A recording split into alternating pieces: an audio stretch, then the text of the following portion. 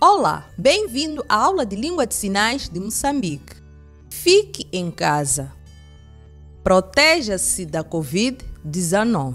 Pode dizer sozinha: fique em casa.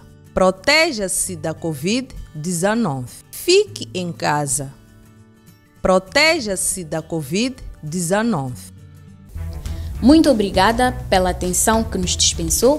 Nós ficamos por aqui e prometemos voltar daqui a sete dias. Continue a acompanhar as nossas publicações nas nossas contas do Facebook e YouTube.